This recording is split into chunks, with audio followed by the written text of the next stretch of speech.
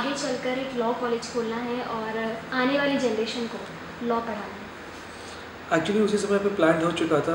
Basically I was a student of commerce तो मैं chartered accountancy अपनी कर रहा था।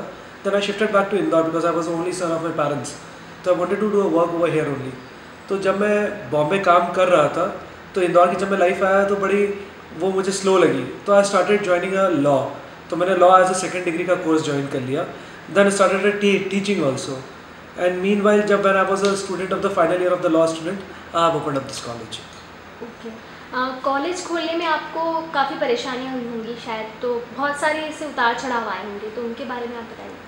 कॉलेज खोलने में ज़रूर बहुत बड़ी एक परेशानी ये थी कि जब मैंने 2003 में कॉलेज खोला उस समय पे एम और इंजीनियरिंग हमेशा एक आ, केक हॉट केक तरह की तरह से माना जाता था। And law was always considered as an a second degree course but हमारा ये था कि अगर आप पुराना इतिहास उठा के देखें, अगर देश का, कि देश के निर्माण के लोग, में किन लोगों ने बहुत अच्छा काम किया तो they were all are the law graduates लेकिन कुछ कारणवश ऐसा हो गया था कि पिछले 20-25 सालों में लॉ का एक ग्राफ गिरता जा रहा था। तो वे स्टार्टेड दैट कि हम लोगों को लॉ एजुकेशन से शुरू करना है और जो इसकी गरिमा या जो इसकी ग्लोरी खत्म हो गई है, उसको फिर से लेकर आना है और इसको सेकेंड डिग्री से फ़र्स्ट डिग्री बनाना है। इतना बड़ा कैंपस है, इतने सारे स्टूडेंट हैं तो इतना सब मैनेज करना कैसे हो पाता है? ऐसा लगता है हम लोग सब करते हैं, मैनेज, बट ये सब चीज़ें राम भरोसे ही चलती हैं तो इट्स इन दैट वे लेकिन ये कैंपस इतना बड़ा है but it is all completely on autopilot mode हम लोगों के यहाँ पे बहुत ज़्यादा डिसेंट्रलाइजेशन ऑफ़ वर्क है. कोई भी आदमी यहाँ पे वन मैन शो नहीं चलता. ये पूरा सिस्टम ड्रिवन कॉलेज है. It's a system driven college it's a student driven college तो सिस्टम ड्रिवन में ये होता है कि हम लोगों ने जो डिसेंट्रलाइज कर रखा है, आज जैसे मेरे यहाँ पे तीन कॉलेजेस हैं. One is a law college another one is a nursing college और तीसरा हाइडलिक का कॉलेज है. तो जो कॉलेजेस हैं, उसका एकेडमिक हमारा पूरा अलग है। एकेडमिक से रिलेटेड जितना एडमिन है, वो एडमिन अलग है। हमारा कैंपस का एडमिन अलग है बिल्डिंग्स का एडमिन अलग है, और जितनी स्टैचूटरी रिक्वायरमेंट्स है, उसका एडमिन पूरा अलग है। और एक एडमिशन डिपार्टमेंट हमारा पूरा अलग है। तो जितना ज़्यादा हमारा डिसेंट्रलाइजेशन ऑफ़ वर्क है तो कभी भी हमें अगर प्रॉब्लम होती है तो हमारा एक आदमी निकलता है कहीं से तो हमको वही क्वेश्चन भरना होता है। तो कभी भी हमारे सिस्टम ड्रिवन पे या हमारे स्टूडेंट ड्रिवन पे फ़र्क नहीं पड़ता है। तो हमारा कॉलेज बड़ा स्मूथली चलता है सब चीज़ों स्टूडेंट्स की बात करें तो अलग अलग स्ट्रीम के स्टूडेंट्स हैं यहाँ पर तो स्टूडेंट क्या सोचते हैं अपने करियर के बारे में? डिफरेंट कॉलेजेस का डिफरेंट पर्सपेक्टिव होता है और क्राइटेरिया होता है। आज लॉ का बच्चा आता है तो लॉ में भी दो तरह के क्राइटेरियाज होते हैं।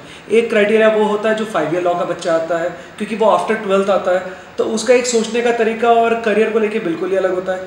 एक आता है बच्चा थ्री ईयर डिग्री कोर्स जो आफ्टर ग्रेजुएशन आता है, वो already twenty one twenty two हो चुका होता है। तो उसको जो और होता है लॉ को लेके वो एक बिल्कुल डिफरेंट होता है।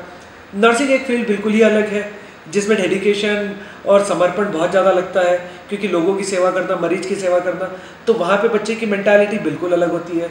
और एक आइडियलिक कॉलेज है बीकॉम और बीबीए वो बंदा एकदम ही अलग होता है, वो बिल्कुल प्रोफेशनल कोर्सेस अलग होता है। तो we deal with all that three people और उन लोगों के हिसाब से ही हम पूरा काम करते हैं, जिसकी जो रिक्वायरमेंट होती है, जो नीड होती है, उसको कस्टमाइज बेस करके उसको हम लोग आक्रेडिट करते हैं। ये देखा जाता है कि बच्चे जब अब्रॉड जाते हैं, पढ़ाई करते हैं वहाँ, फिर वहीं उन्हें जॉब मिल जाती तो वो वहीं सेटल होना चाहते हैं, वापस वो अपने देश नहीं आना चाहते तो इस पर आप क्या करें? This is actually a brain drain for the country आज आप एक चीज़ समझे कि जो आदमी ने रिसोर्सेज यूज़ करा है जब तक वो बाईस तेईस साल का था वो यहाँ पर था उसने सारे रिसोर्सेज को यूज़ करा है। आज वो एक काबिल आदमी बन गया है। उस काबिल आदमी को बनने के लिए वो आ, पढ़ाई भी उसने पूरी यहाँ से करी स्कूलिंग यहाँ से करी अपने पेरेंट्स उसने संस्कार भी वहीं से लिए। लेकिन जब आज देश को दे, देने का समय आया है तो जब देश को देने का समय आया है और उस समय पे वो बच्चा अगर बाहर जा रहा है तो दैट इज़ नॉट राइट लेकिन आपको एजुकेशन के लिए जाना है, आपको एक्सपोजर लेवल के हिसाब से जाना है, आपको कल्चरल लेवल के हिसाब से जाना है, आपको एनवायरमेंटल के हिसाब से जाना है you can go but at the end of the day आपकी ज़मीन, आपका देश ही अपने लोग हैं और आपको उसी के लिए ही रिवर्ट बैक करना चाहिए. It is easy to get a money but लेना हमेशा आसान होता है, देना हमेशा टफ होता है. और भारतीय का ये कल्चर है कि देने का है तो देने के उसे वापस आना चाहिए. देश की न्यायपालिका पर काफ़ी सारे आरोप लगने लगे हैं आजकल और कई सारे जज हैं जिनको निलंबित कर दिया गया है तो उस पर आप क्या कहना चाहिए लोकतंत्र का काम ही होता है सब लोगों पर डिपेंडेंसी होना, सब लोगों से सवाल करना, जवाब करना। चूँकि हमारा देश 135 करोड़ लोगों का लोग है, यहाँ पे अलग अलग बुद्धि के अलग अलग तरह के लोग होते हैं। कोई भी एक पार्टी को बिलोंग नहीं करता है और यही देश की ग्रोथ में सबसे अच्छी चीज़ है कि कहीं पे प्लस है तो कहीं पे माइनस है, कोई पे सब्सट्रैक्शन है तो कहीं पे डिवीज़न है। और जब इसीलिए हम लोग कहते हैं कि यूनिटी इन डाइवर्सिटी है। अगर आज मीडिया है, अगर आज मीडिया सरकार से सवाल पूछता है तो सरकार उन चीज़ों के लिए जवाबदार है। अब अगर आप जुडिशरी की बात करेंगे, जहाँ तक आज तक मेरा सुनने में आया है या क्योंकि मैं चूँकि लॉ कॉलेज चलाता हूँ, बहुत सारे जजेस यहाँ पर आते हैं और रेगुलर बच्चों को लेक्चर्स लेते हैं।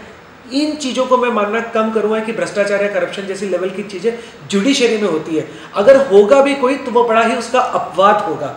लेकिन मुझे ऐसा ध्यान नहीं है, गिने चुने एक या दो केसेस को अगर कोई छोड़ दिया जाए कि कभी भी हायर लेवल की जुडिशरी में किसी को बाहर करा गया या किसी में कोई केसेस करा गया या जिनको बाहर करा गया तो आज भी न्यायपालिका में दम है आज भी लोगों के जो भारतीय है, जो यहाँ का नागरिक है, उसकी न्यायपालिका में पूरा विश्वास है। उसको ये मालूम है कि कोई सरकार उसके लिए काम करे ना करे, उसके अपने लिए उसके लिए काम करे ना करे, पर न्यायपालिका उसके लिए ज़रूर काम करेगी।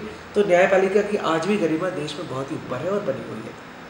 महिलाएँ हर फ़ील्ड में आजकल बहुत आगे हो गई हैं। तो आपने ये लॉ कॉलेज जब से खोला है तो आ, मतलब गर्ल्स का कुछ आपको फीडबैक देखने को मिला कि वो इंटरेस्टेड है इस मतलब मैं? शायद एक ऐसा अपवाद कॉलेज हूँ जहाँ पे कि वुमेन एम्पावरमेंट बहुत ज़्यादा है।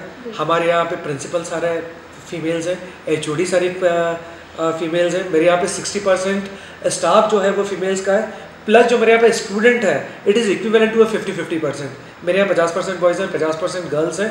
और गर्ल्स आज की तारीख में बहुत अच्छा कर रही हैं। They are nothing less than any boy और even I would say they are much better than the guy a normal average guy supreme court high court सब जगह ये देखा जा रहा है कि काफ़ी सारे केसेस पेंडिंग हैं। तो उनके लिए क्या किया जाना चाहिए केसेस की पेंडेंसी के लिए तो दो चार चीज़ें हैं। There should be a more courts should be available arbitration और मीडिएशन को हमको आगे लाना पड़ेगा, क्योंकि आज बहुत सारे ऐसे केसेस हैं, जैसे कि आप जब देखेंगे कि लोक अदालत लगती है बड़ी बड़ी लोक अदालत लगती है, उसके अंदर भी बहुत सारे केसेस सॉर्ट ऑफ़ होते हैं। तो अगर आज भाई आप आर्बिट्रेशन और मीडिएशन करवा पाएँगे, क्योंकि आज की तारीख में क्या होता है कि न्यायालय में जजमेंट होता है। लेकिन जब किसी चीज़ का आर्बिट्रेशन होता है या मीडिएशन होता है तो वो हमेशा विन विन सिचुएशन होती है।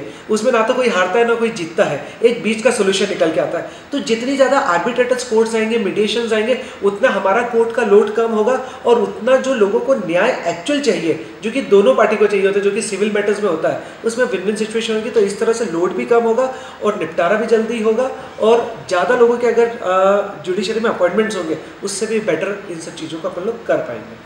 लोगों को जल्दी जस्टिस मिले फ़ीस कम लगे और लोग परेशान न हो। इसके लिए क्या करना चाहिए? फ़ीस तो ऐसे भी बड़ी नॉमिनल ही होती है कोर्ट्स की कोई बहुत ज़्यादा होती नहीं है। फ़ीस तो सिर्फ़ वकीलों की ज़्यादा होती है। मिलने में काफ़ी टाइम लग जाता है। कहते हैं न्याय देर से आता है पर न्याय अगर आ जाए तो वो ज़्यादा इंपॉर्टेंट होता है। कुछ मैटर्स ऐसे होते हैं कि जो लंबे चले जाते हैं क्योंकि हमारे यहाँ की कॉम्प्लिकेंसीज इतनी है। कहते हैं देश में जितने ज़्यादा एनजी रोड है उससे ज़्यादा हमारे देश में कानून है।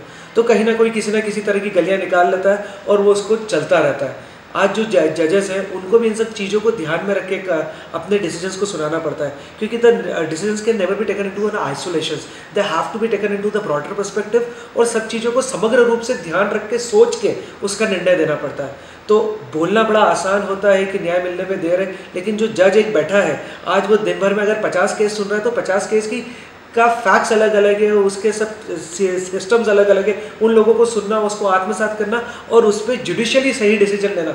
इट्स अ बिग टास्क तो बोलना आसान है कि जज मिलने में लेट होता है, लेकिन वो अपना काम आज की तारीख में एक वकील से ज़्यादा काम एक जज करता है कि जितनी देर वो बोर्ड पे बैठता है, उससे ज़्यादा वो अपने घर पे भी जाके काम करता है। तो एक बहुत बड़ी चीज़ है। सोशल लेवल पर बात करें कॉलेज की तो यहाँ पर कौन कौन सी पॉलिसीज़ हैं जिससे लोगों को फ़ायदा होता है?